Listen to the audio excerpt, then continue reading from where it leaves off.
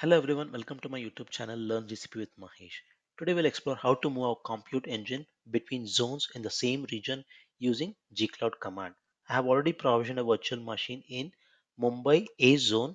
So let's try to move this compute engine to Mumbai B zone using gcloud compute instances move command.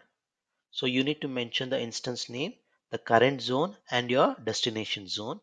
So let me hit enter and the, the movement process will start. Behind the scene, this gcloud compute instances move command uses snapshot. So if I just refresh the screen, you should see a snapshot getting created.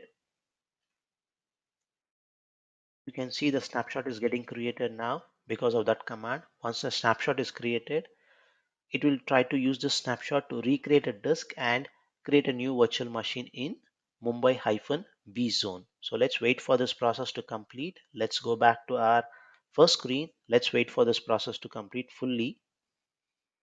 And you can see the virtual machine has gone to stop state now. So once it is fully moved, you should see a new zone with the same name. Now if we refresh the screen, we can see it is totally deleted.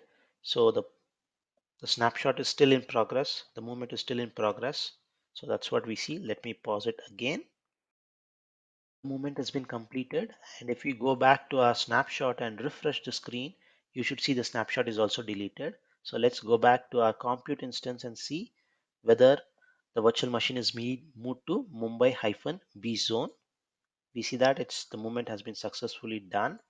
So that's how one can move a compute engine between zones in the same region Hope the video was helpful. Please let me know in the comment section if you want me to do a video on a specific GCP concept.